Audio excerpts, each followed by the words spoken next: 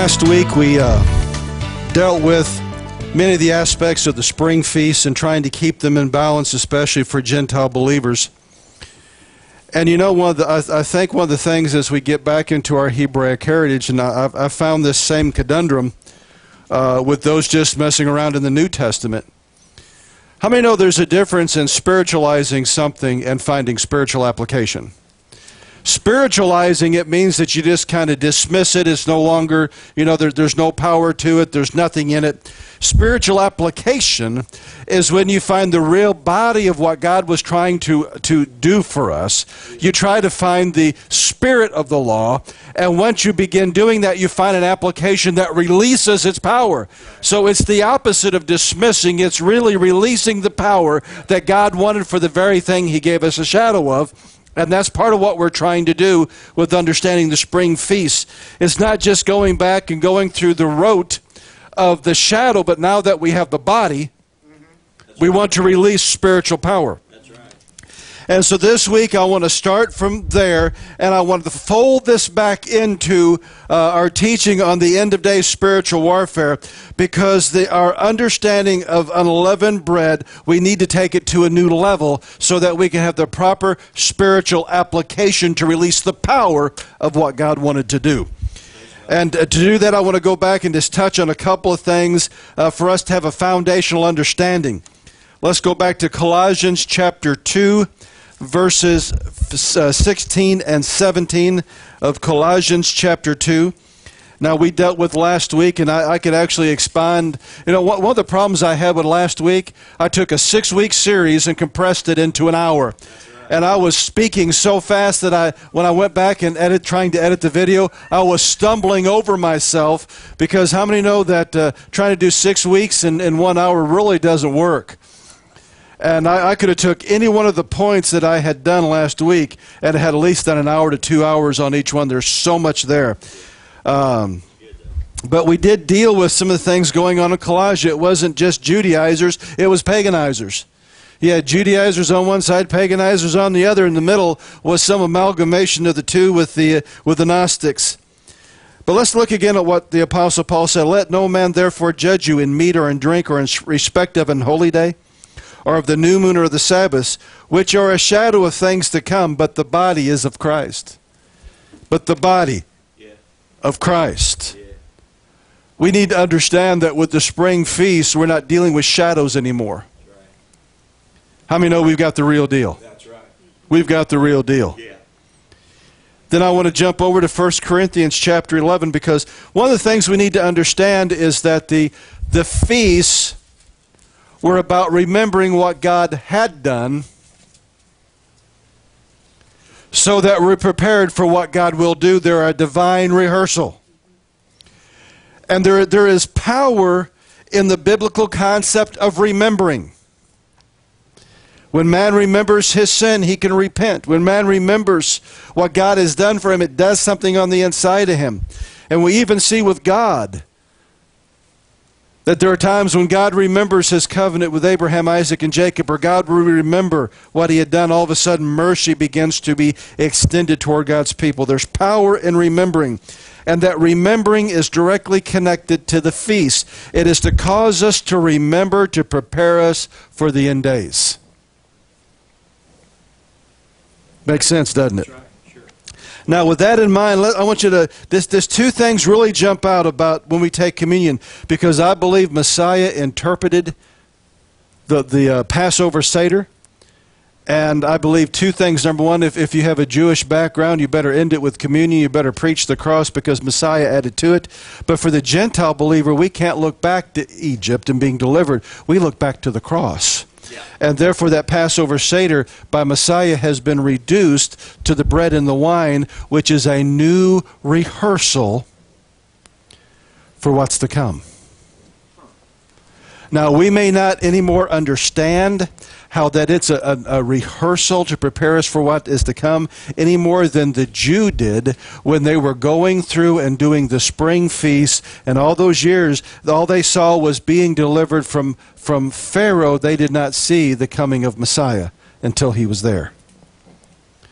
And so we, we need to do the same thing. But I want you to look at what, what the Apostle Paul says. It said, And when he had given thanks, he brake it and said, Take, take, eat, this is my body, which is broken for you. This do in what?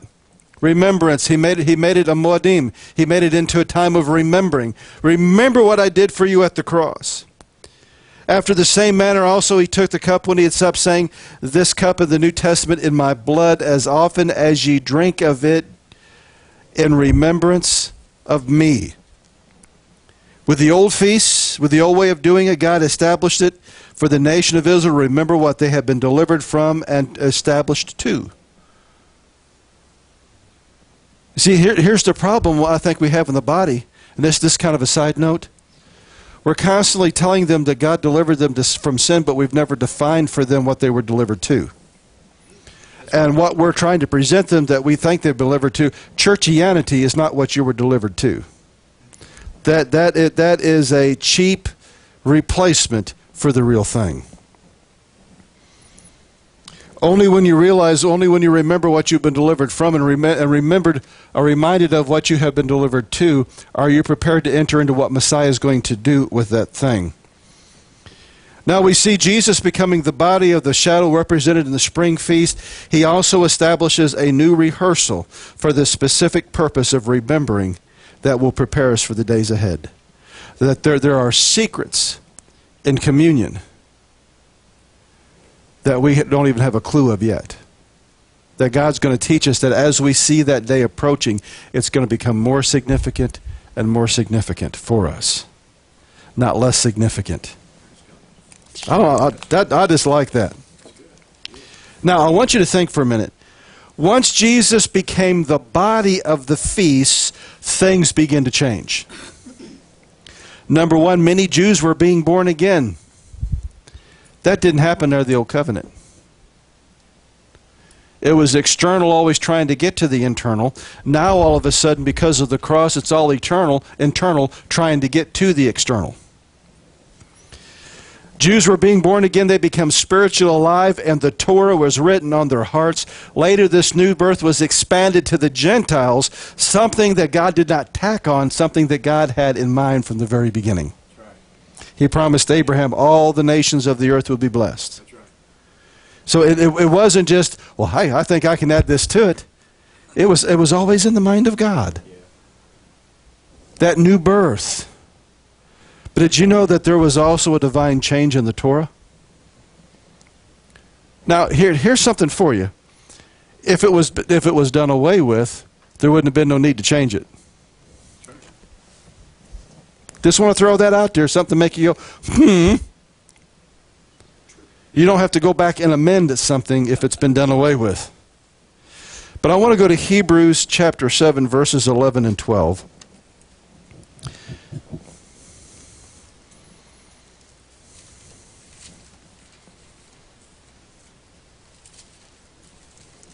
How many realize when you read the Torah that the Levitical priesthood was plan B? Have you caught on to that when you, when you read the stories? He said, I, he said when they, when they all showed up to the mountain, he said, Oh, I wish I could have made you a kingdom of priests, but because you have rejected my voice, I am selecting one tribe to be the Levitical priesthood.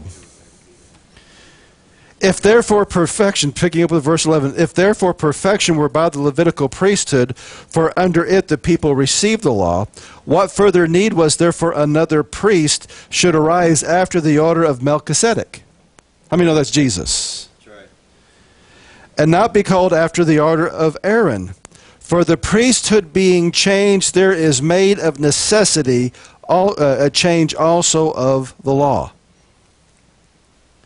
I want you to, oh, the law is eternal, but as it is fulfilled, God always tends to bring it back to his original intent. And so there was a change. We know, and, and, does this mean that the Aaronic priesthood will not have a place in the millennial reign? No, the, the prophets very much speak of that. And Christians kind of wrestle with it that if they're doing sacrifices, what does that have, you know, how, how will that affect the blood of Jesus? My thing is, number one, I don't have to worry about it because it's going to be during the millennial reign.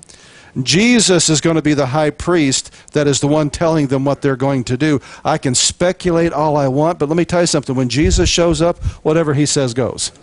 Whether I understand it or not, I'm, I'm good with it. And so, wrestle as you may, you can't wrestle with, with the air because it's, it's kind of like, how's it going to work? What's it going to work? How, we don't know. But all I do know is I have confidence in Jesus. That's right. But for right now, there, there has been a change, and even then, I think there will be a change. We all are priests unto Almighty God, and there is a responsibility in that priesthood. And that's part of the spiritual application. Let me ask you something. How did you get saved? Did, uh, did you wait for, the, for Passover to come one year, and, and, and as you were taking Passover, you all of a sudden realized who Jesus was, and it was at that special time of the year that you got saved? Or was it because it is a fulfilled feast? It's available 24/7 365 and all you have to do is uh, all you have to do is embrace what Jesus did for you at the cross. In other words, it's a spiritual application that got you saved.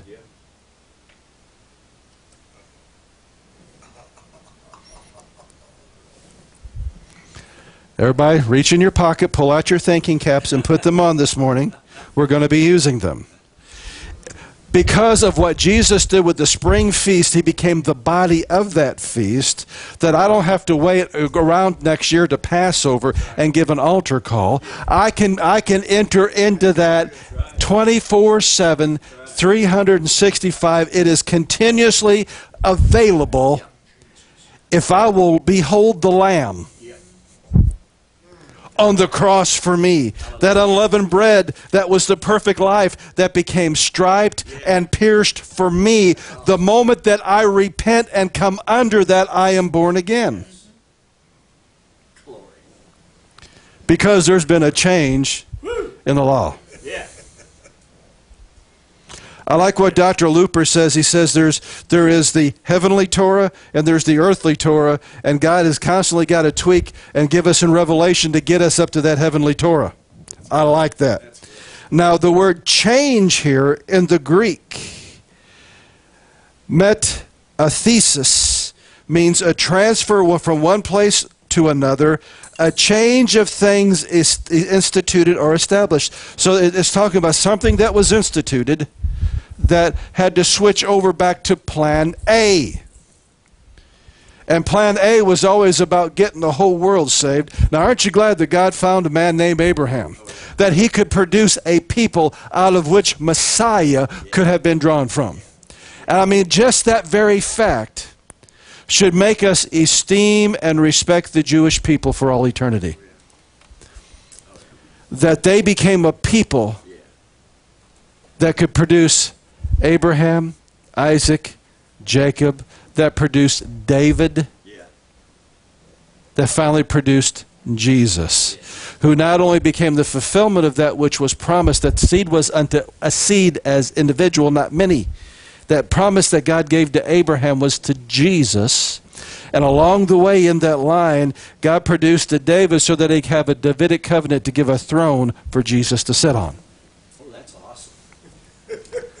I mean, that's just good stuff. I mean, you get into this, you could just about have church anytime that you want it. Now, and it's the same thing with the we're, we're in the, con, the, the continual fulfillment of Shavuot. You know, just been meditating on, on, a lot of these things, and Mary and I have always been, you know, expecting just all heaven to break loose every Shavuot and the power to be here every every Shavuot, and uh, we've been kind of disappointed. And so I went to the Lord and I said, You know, God, what am I doing wrong? You know, is this something that I've done that held back power? I know it's nothing that Mary's done, you know, because she presses in there 10 times as hard as I do. And God says, No, you're missing the point. And I said, What? Just like salvation, the power of Shavuot is available 24 7, 365. The power is already here. All you've got to do is learn how to breathe it in, breathe in the Holy Ghost You don't have to wait for Shavuot to get the baptism of the Holy Spirit. You just got to understand the cross, and you got to understand to become the unleavened bread. And I, one of the reasons I feel that many people have to tarry is because God has got to allow you to, to move through places that you become unleavened, because unleavened bread can hold the fire. That's one of the reasons why, in, in many, uh, even spirit filled, they have something called tarrying. And during that tearing, it's not just sitting there begging for the Holy Ghost. What it is is them making sure that there's any, no leaven in their lives, and they get cleaner and they get cleaner and they get cleaner. And all of a sudden, the Holy Spirit comes in, and, and because they finally got because there's there was some piece of leaven the devil strategically put in their lives, trying to hold back the baptism. And when they get to that piece of leaven and move it out, the baptism automatically comes. Yeah. And one of the things I have found too, a lot of times when you're called to ministry, the devil makes sure that you're chock full of leaven to keep you from the power. Come on now. But it's the spiritual application when we entered into this priesthood through spiritual application of what the body of Messiah was represented in the spring feast, and we are empowered in the priesthood through the spiritual application of the body of Messiah as, as represented in the summer feast, Pentecost. And guys, we are working toward seeing the full body of Messiah in the fall feast. And we're not going to see the full body of it till he comes back. So we have, we have, we're looking for, and we have a portion. And under this priesthood, spiritual application is paramount. Without spiritual application, you cannot function in the priesthood of Melchizedek. And you can miss the point altogether. And I, I, know believers that they, they go through with some of the things we're going to find out about, about unleavened bread, and they, they follow the letter of the law and they miss the spirit of the law. And the spirit of the law gives life. Why play with shadows when you can hold the real? That's right. Yes, that's right. And it's to our detriment under our priesthood if we do not look for spiritual application that we can, that we can implement to release the power in our lives. Let me tell you something, it's a whole lot different when you're shadow boxing than when you get in the ring.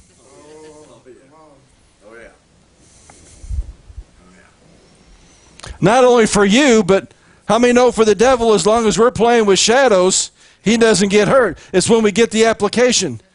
The day that you made Jesus Christ Lord and Savior of your life, the day that you bowed the knee at that old rugged cross and saw the Passover lamb, and the blood got put over your doorpost, he got KO'd at that moment in your life.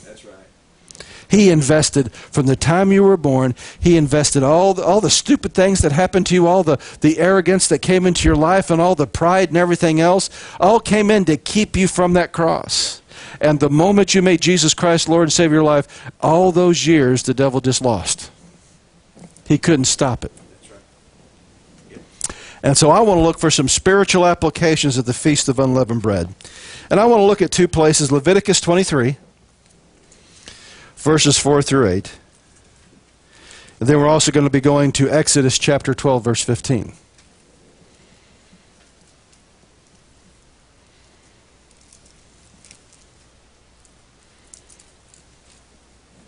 If you find the function of the spiritual application, the unction of that application begins to flow.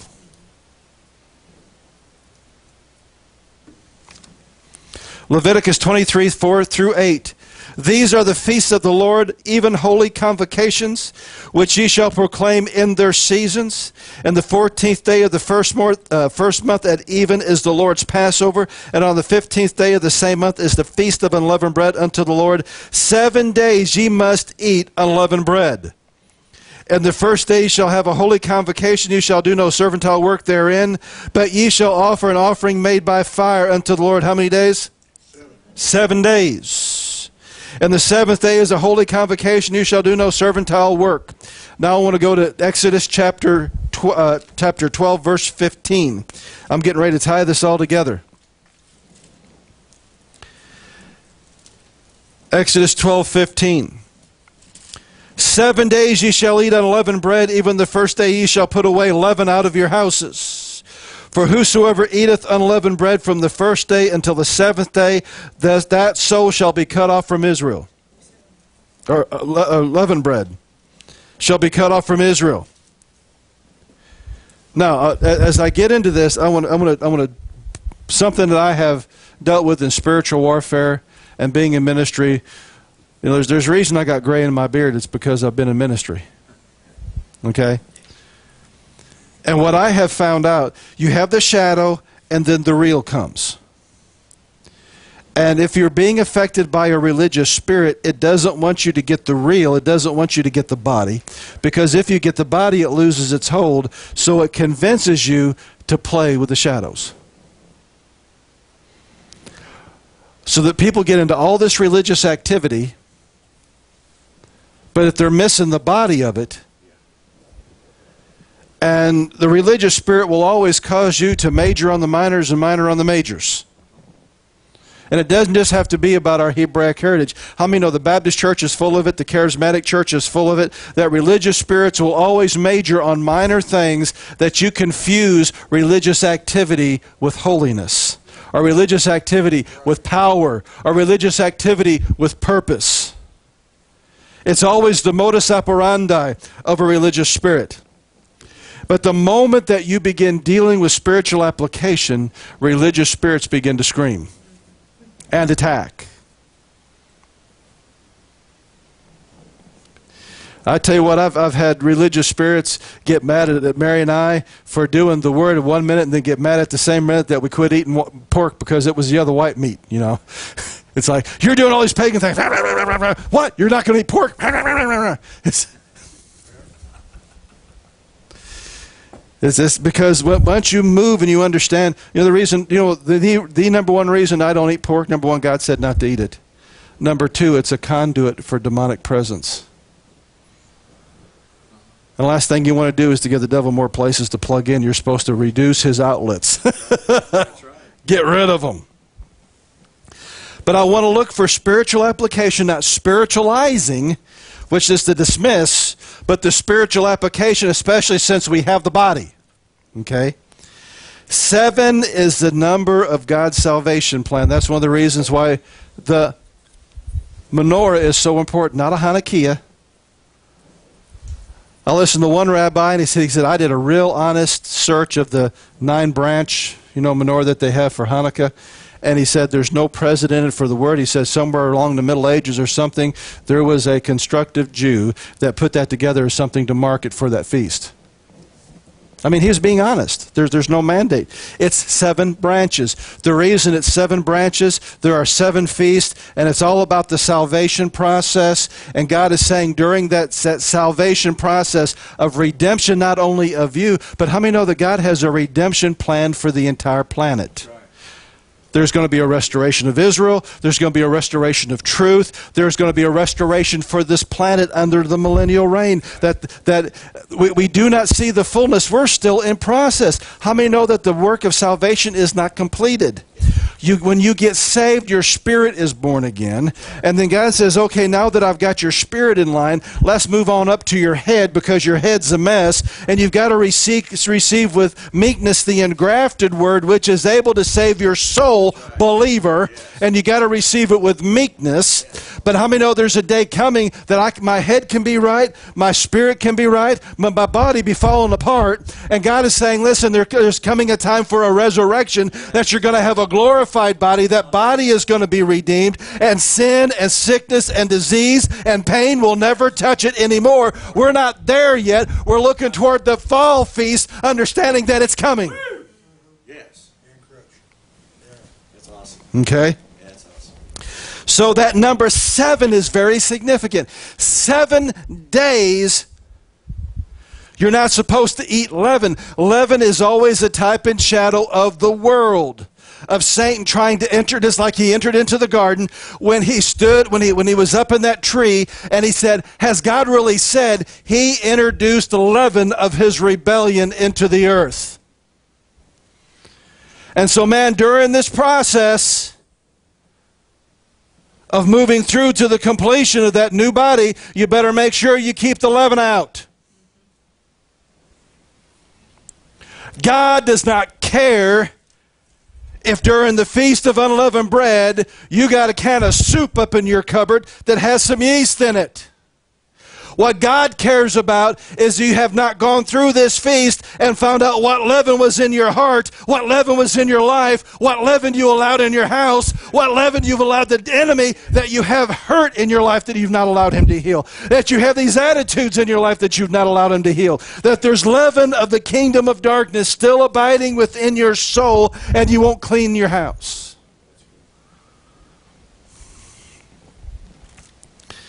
Leaven speaks of the sin nature that permeates the world and this world system, and we are constantly getting exposed to it when we're exposed to the world. That's why the search is a continuous search during the seven day process. It also says that we have to make offerings by fire for seven days. Offerings by fire, priesthood, how do you do that? Every day you look for the leaven in your life resentment, pride, religious spirit, hurts, wounds, all these different things, and you bring them and you burn them up in repentance in the fire of the Holy Spirit, which is to purify.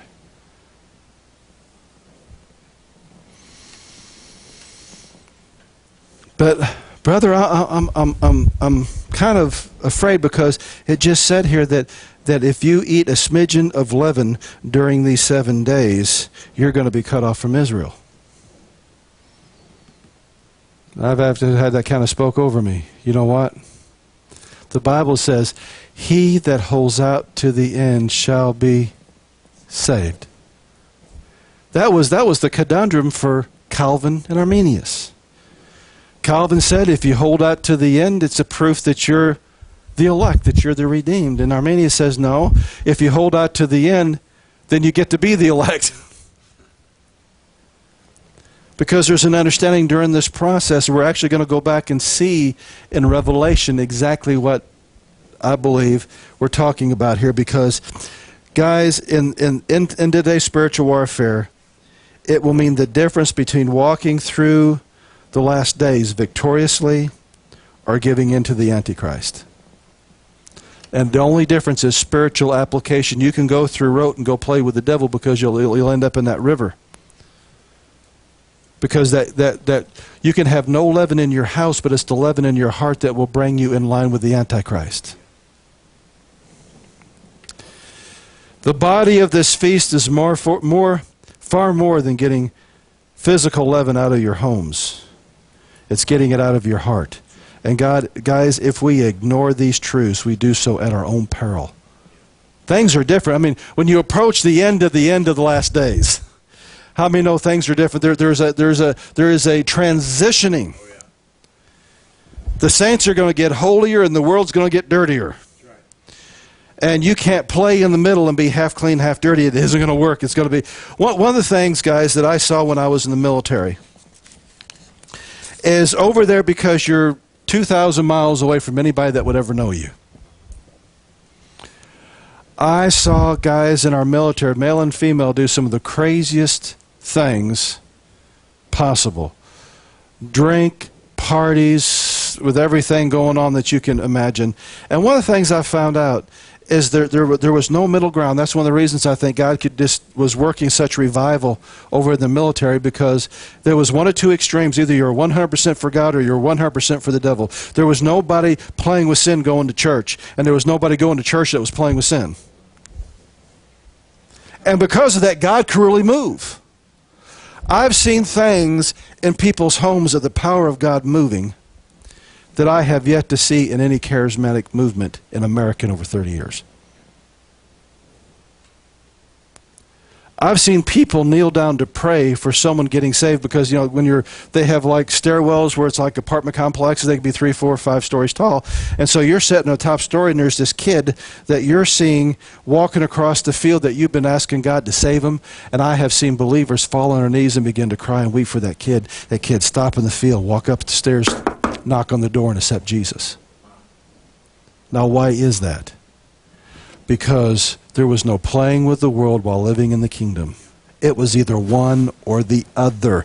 And as we approach the end of days, it's going to be one or the other. Now, in our priesthood, we have got to we've got to maintain the feast of unleavened bread but because we have not understood the spiritual application we have totally failed as a body. Turn to your neighbor and say ouch. Okay. Let me show you how. Jesus was the bread come down from heaven. He was striped and he was pierced for us. This is a perfect picture of Jesus on the cross. Unleavened, pierced, and striped, and he paid a price for us. Yet the universal church, or the church universal, is presenting to the world every other Jesus except the unleavened bread imaginable. We have a powerless Jesus. We, we have a Jesus full of leaven. This bread can abide no leaven. Just think about that for a moment. We, even, even when this bread took the stripes and the pierce uh, that he, he pulled from when he was healing people, was because he was able to draw from what he was going to do. He healed them and say, "Send no more, lest something else comes upon you." Now, now when they're healed, we'll say, "That's okay. Go ahead and send because you're all under grace." Totally opposite of what Jesus said. We have a wealth-centric Jesus. That's why, Brother Chuck, we can have prophets or prophetesses look at a demon-possessed man and say, "God's going to make him rich," instead of calling out the sin that's in their life, because he's not unleavened anymore. We, we, we have a gay Jesus being preached. We, we have a Jesus that because of grace, he'll accept anything. So instead of having unleavened bread, we have sourdough bread, we have rye bread, we have pumpernickel bread, we have marbled bread, we got raisin nut bread. We, we have a mystical Jesus that's new agey. And it's really not about getting the sin out of your life, it's ascending to become a God. That's the Jesus that was trying to hang in the first tree, not the second tree. We have a Romanized Jesus, we have an Americanized Jesus. Just this week, Farrakhan preaching to the black Muslim nation said that Jesus was a black Muslim, so now we have a Muslim nation. And what's interesting is we had a Muslim before there was a Muhammad. There, there is every type, the Antichrist will add leaven back to the unleavened bread to take people from the reality of it. And it was our task as priests of the Most High God to ensure that the image of the unleavened bread that gave his life for us and died on the cross remained unleavened because only when he is presented as he really is does he draw all men to him and are they healed and saved and delivered. And he becomes the definition of what kadosh means holiness means. And now we have so perverted who Jesus is that when people begin saying this is sin in the church, they are branded as heretics, uncompassionate.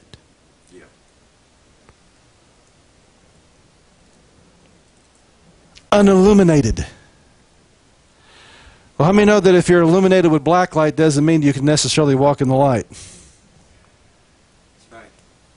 And most of the illuminated ones in the world today are being illuminated with black light, not the light of God. Because sin will always be sin. It, it, it is amazing that as we are beginning to restore the unleavened bread to his place, which is part of our priesthood, people are finding out Jesus was Jewish. I, I, I, that, that has been one of those bombs I've dropped in churches that end up having shock and awe. You know, they were shocked. They said, oh, that can't be right.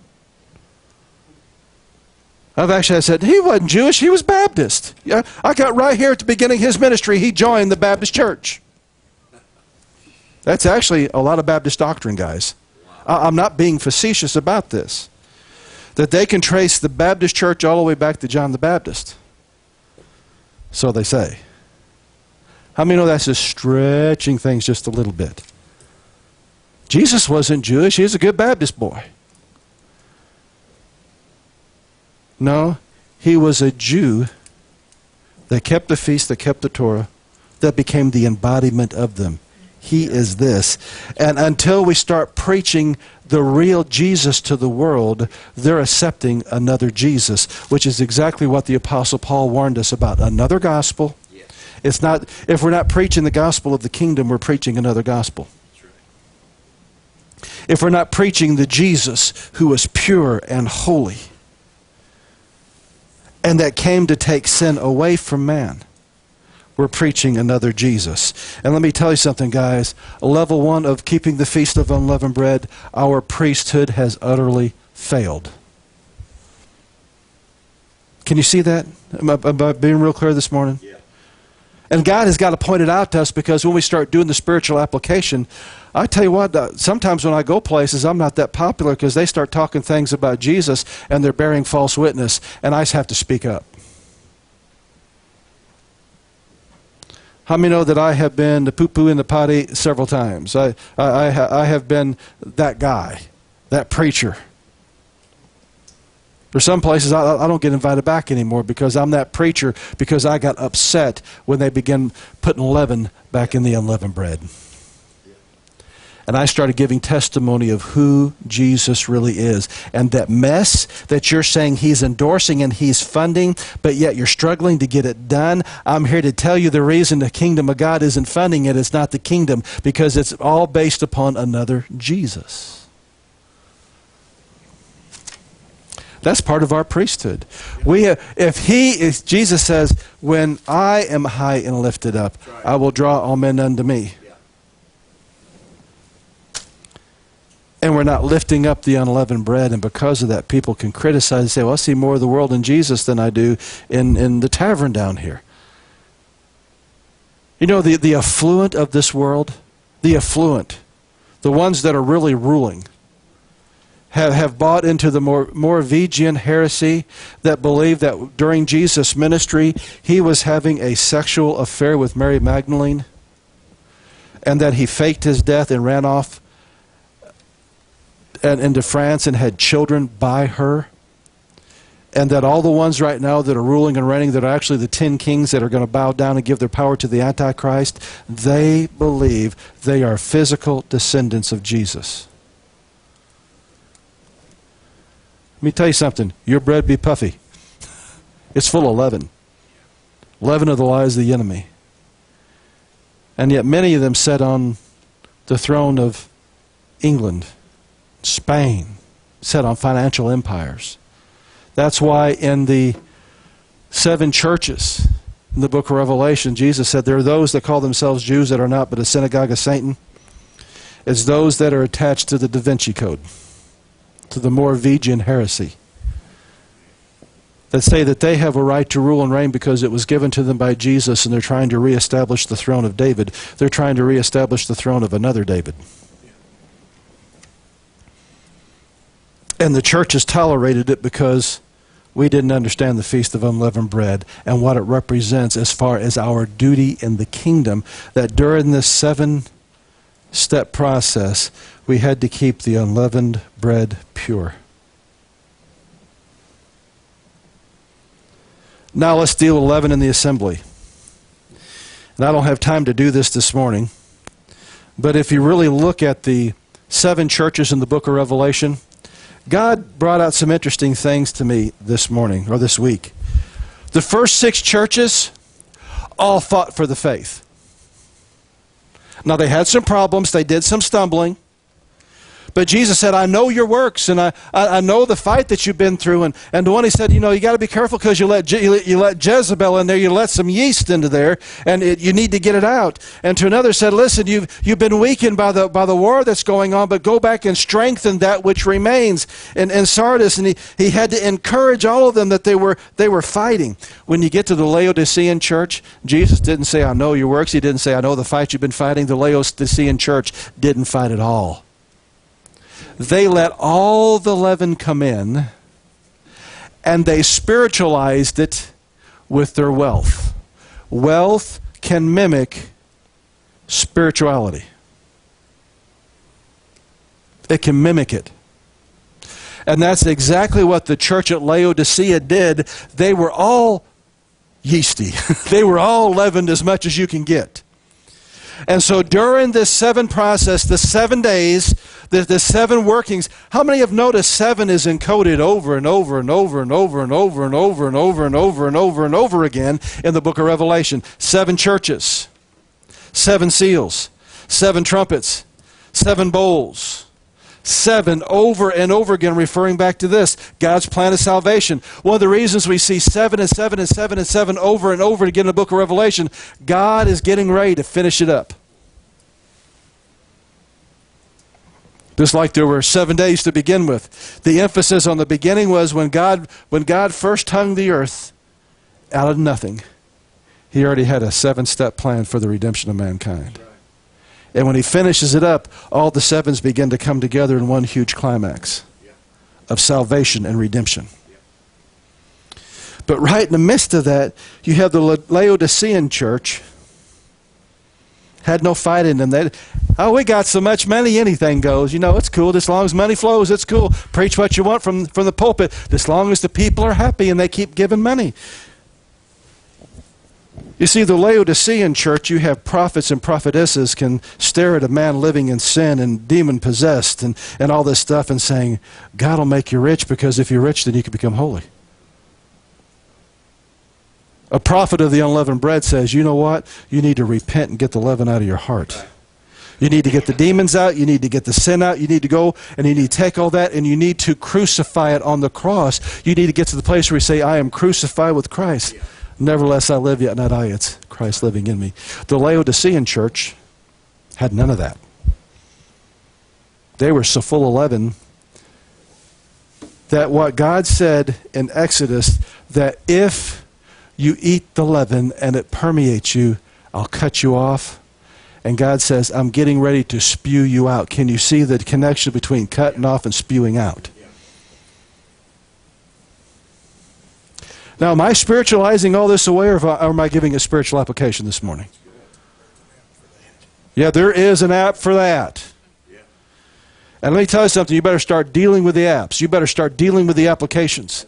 Because I have seen believers that'll go through their house from one end to the other to make sure that there is not a smidgen of leaven in their home for the Feast of Unleavened Bread, but they enter into it with a heart chuck full. Missing. The, because that, that season, we just ended it yesterday, we just ended it, was I want you, I want you to get the type and shadow. Ooh.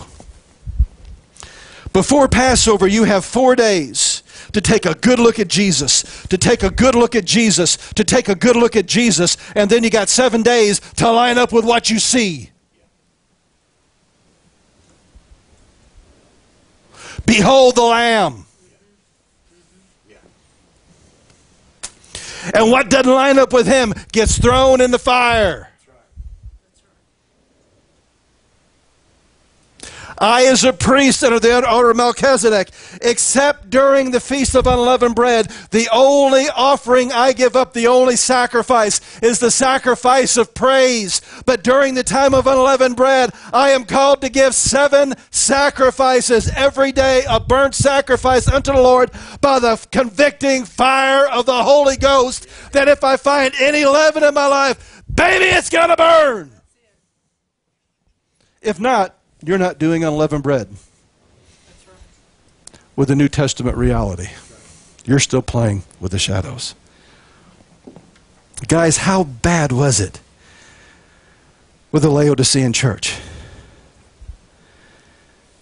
Jesus ends it with says, Behold, I stand at the door and knock. Now that has been a salvation call. Baptists have used it very effectively over the years. But that was given to the church. And we don't understand that that was the beginning of the process of betrothal. Hebraically speaking. That if Mary and I were living in community and I catch her eye and she catches my eye and I'd like to marry her. I'll go talk to my dad and she'll go talk to her dad. Then there's the appointed day that my dad and I come to her door and we knock on the door. And if and then her dad's looking at her and says, "You, you sure you want to marry this guy?" "Yeah, dad." That's when you let them in. And the whole thing of, of him saying, I go to prepare a place for you, and all the wonderful things about that, as well as then she has got to, part of her process while I'm building a place and preparing a place, she's supposed to be preparing herself to be meet for her husband.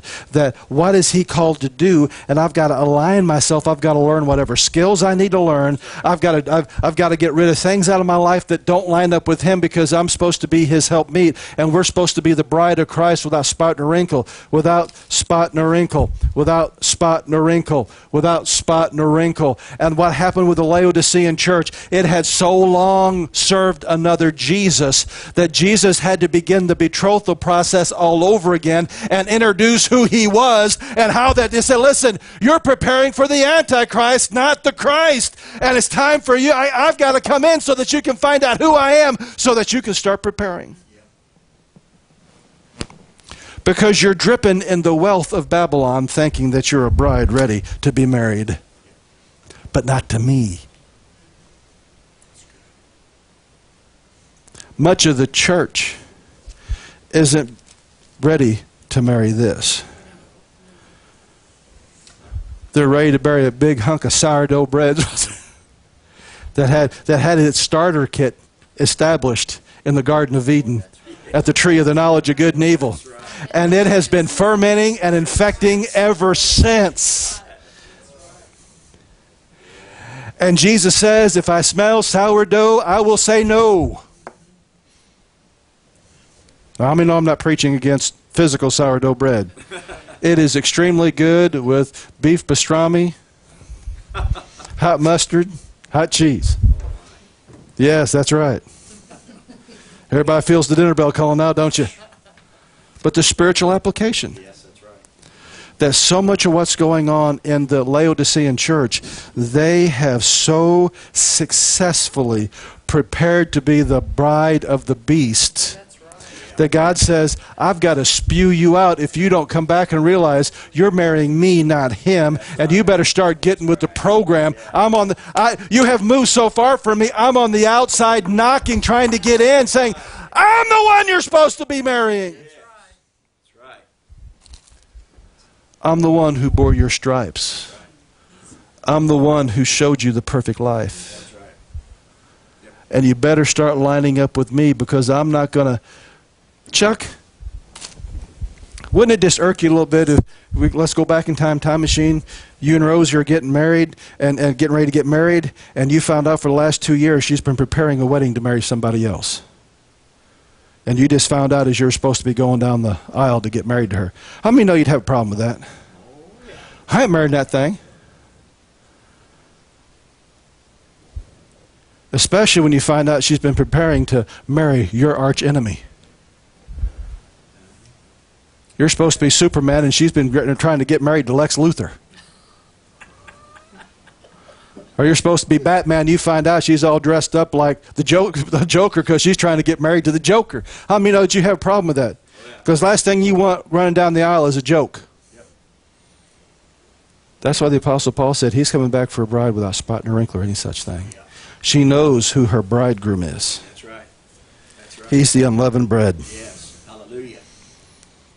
He paid the price for her preparation. Yes. He paid the price. Yes. And now she's lining up with this. Yeah.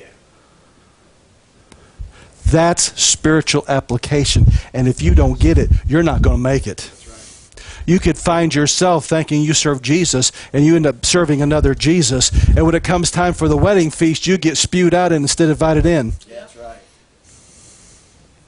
That's the power of the spiritual application of the feast. The springtime reminds me I got to line up because I've got to prepare. And the fall feast, I've got to make sure I'm right with both God and man, and I am humbled when he comes back because only that which bows does not burn. That is spiritual application. And you can go all day long and you can get all the yeast out of your house. And uh, guys, I, I have known believers that have went through and thrown away hundreds of dollars worth of food preparing for the Passover. If you would take half of that energy and apply it inwardly, do spiritual application, you come out the spring feast a different person. You'd come out a different person. And listen, you you know it's almost like pruning. You're going to be pruned if you do and pruned if you don't. Jesus said to those that don't produce fruit, I, I prune. Those who produce fruit, I prune that they might produce more fruit. It's the depth of the prune. Now you have a choice. You can either take things out of your life Yeah. and give it as an offering by fire of the Holy Spirit, Yeah. as an offering unto the Lord by fire. Or Jesus, to get you to where you're going to make this, He's going to hold you over the fire of persecution until that which you have attached to yourself burns off to save you. I prefer the first. I prefer the first. Because I see a lot of believers even getting into the Hebraic heritage that do not do applica- uh, spiritual application. They're not ready. They're not ready for anything. They're barely holding on now. What do you think it's going to be like? Not when we see the echoes of the Antichrist coming from Washington and coming from uh, coming from the different governments of the world. Not an echo, but the real thing is here, ruling with complete power. How do you think you're going to hold up against that if you can't even tolerate just a little bit of pressure being put on you now? It's because the leaven weighs you down. The leaven infects you. It allows every disease. Even in the physical, there, there's a, a ministry called Know the Cause that they have traced back almost every cancer and every major disease to a yeast infection, a fungus infection in the body. And you get rid of the leaven, the body heals itself. You want to talk about a spiritual. You want to talk about a spiritual application. The, the more of the yeast and leaven you get out of your life, the easier it is to function within the kingdom. That's right. Boy, that is so right. That is spiritual application, and that, my friend, is end of day spiritual warfare. If you become like this, then devil can't touch this. Any place where you're puffy, he can grab onto That's because it belongs to him. Yeah. He can't touch this. This is not of the world. There's nothing of his doctrine. There is nothing of the lie that stemmed from the tree of knowledge that he can grab onto. Yeah. And yet today in the earth, have you ever noticed they're talking more about those who are illuminated, those who are enlightened? Well, they, we, we need enlightened theologians. We need, we need enlightened politicians. We need enlightened intellectuals, lovey. You know what that is? That enlightenment comes from the tree of the knowledge of good and evil because the Antichrist can grab onto it and function with it. The real Jesus can only function with this. He'll only tolerate this. He'll give you a chance to get the leaven out, but he can't function through you the way he needs to. That's right. That's the purpose of the spring feast to make sure the blood is over the doorposts spiritually, to make sure that you have examined the lamb for four days, and then to make sure that you have entered into this period to make sure there's no leaven in your house.